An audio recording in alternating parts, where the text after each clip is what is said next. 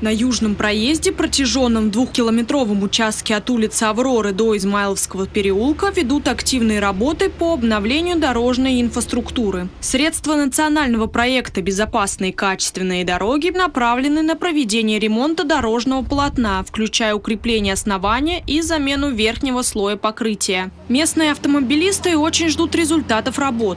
А пока из-за неудовлетворительного состояния участка не считают его в полной мере автодорогой дорогой, пригодной для езды. Поэтому, чтобы не повредить машины, приходится искать пути объезда по соседним улицам. Так, житель 134-го дома Ренат Фатхулин выезжает через Крейсерную и Витебскую, а возле своего дома на южном проезде только паркуется. Ну, конечно, какая дорога? Это не дорога, это безобразие. Тут никто не ездит фактически.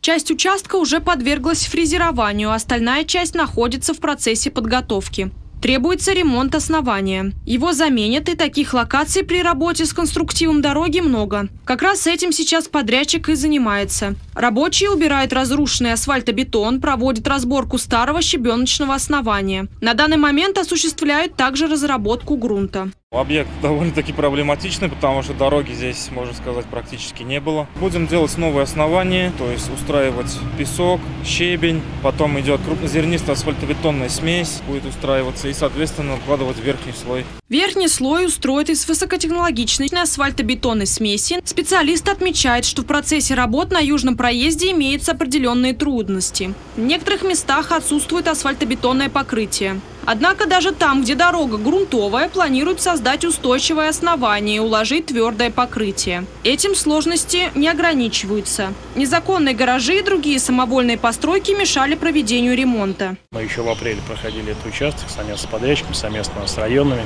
определяли, какие постройки необходимо убрать, поэтому с администрацией внутригородского района в данный момент отработали э, администрация способствовала сносу э, незаконных строений. Но вот, сожалению, когда начали делать основания, когда выкопали экскаватором э, непригодный грунт, ну, увидели там незаконные врезки. Может быть, они законные, мы пока еще до конца не знаем.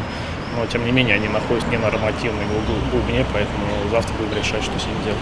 Врезки связаны в основном с холодным водоснабжением и канализацией. Окончательное решение о демонтаже будет принято после дополнительного осмотра. В пятницу 19 июля его проведут комиссионно.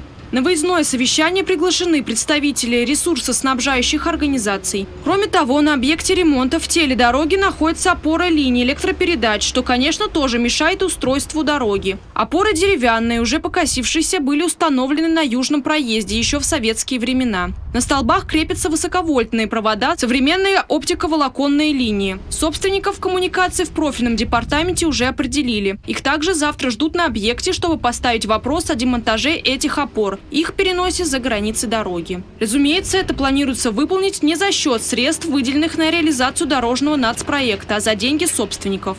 Вопреки возникшим трудностям, работы продолжаются, чтобы ускорить завершение ремонта и порадовать жителей новой дорогой. Чтобы здесь дорога была ровненькая и все. Что еще должно быть? Чистота, порядок. Оперативности выполнения всех задач уделяется повышенное внимание, ведь работы, предусмотренные по нацпроекту «Безопасные качественные дороги», согласно муниципальному контракту завершить необходимо до конца августа текущего года.